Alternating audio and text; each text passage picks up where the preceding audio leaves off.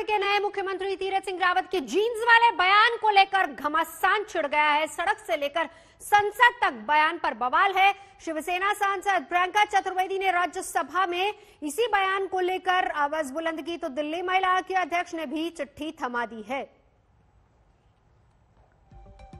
जहाज़ में जब बैठा तो मेरे पड़ोस में बगल में एक बहन जी बैठी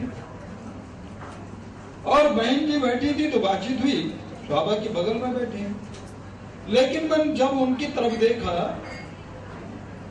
तो नीचे गमबूट थे। जब और ऊपर देखा तो घुटने फटे थे। हाथ देखे तो कई कड़े थे।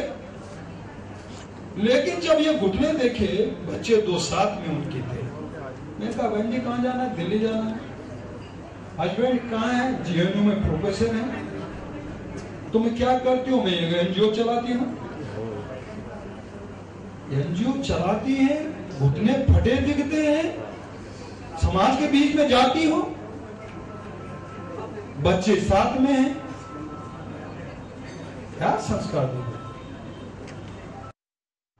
तो उत्तराखंड के मुख्यमंत्री के इस बयान के बाद सोशल मीडिया पर भी इसका विरोध हो रहा है। किस तरीके से हो रहा है? जरा वो तस्वीरें देखिए।